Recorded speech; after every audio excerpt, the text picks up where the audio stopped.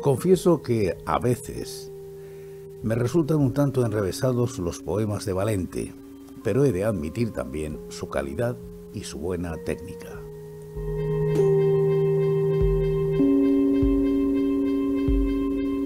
Materia de José Ángel Valente.